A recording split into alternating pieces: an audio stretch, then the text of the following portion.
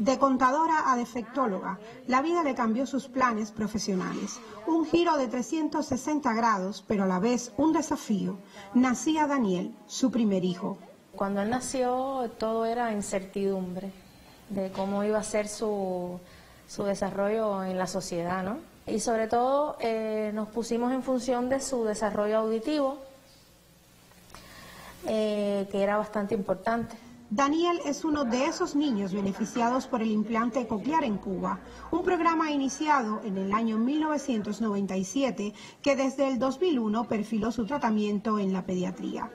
No se puede trabajar de forma individual. El cirujano, los audiólogos, las otras especialidades, los rehabilitadores que participan, tienen que ser uno mismo. La primera maestra que yo tenía fue Beikis, que fue una maestra que fue muy buena en estimulación temprana y, poquito a poco fui desarrollando habilidades, muchas habilidades con ese equipo. Este podemos decir que es un programa, uno de los más humanos que hay.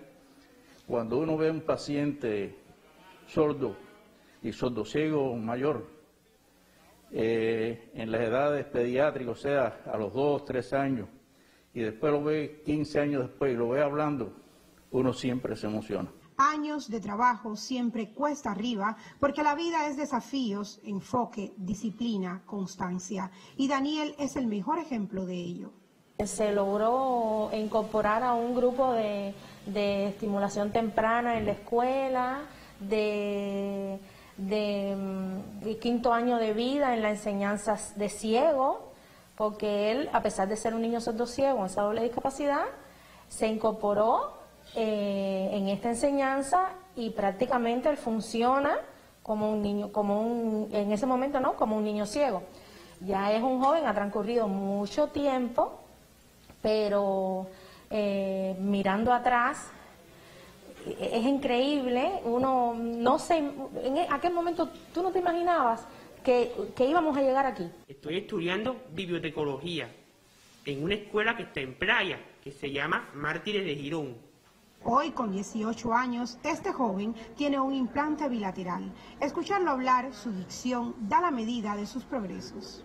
Mi mamá fue la primera persona que me ayudó en toda mi vida y además también mis maestros, rehabilitadores, todos los especialistas, todos los que me, los que me han contribuido a ese desarrollo un programa costoso en el mundo de la medicina, donde Cuba ha beneficiado ya a 510 pacientes. La expectativa nuestra es seguir implantando, seguir logrando los éxitos que hemos logrado ahora, participar en formación de nuevas generaciones de médicos, trabajadores, nuevos programas y lograr desarrollar este como un centro de implante con todas las características que debe tener. La felicidad marca la vida de esta familia. Daniel es ya hoy un adolescente, orgullo de todos los que tuvieron que ver con su desarrollo. Orgullo también para su hermano pequeño. A veces me pide ayudarle con, la comida. También me, me pide ayudarlo para vestirse, a ponerle los aparatos después de que se baña. ¿Qué vamos a hacer hoy? ¿Y qué está logrando él hoy?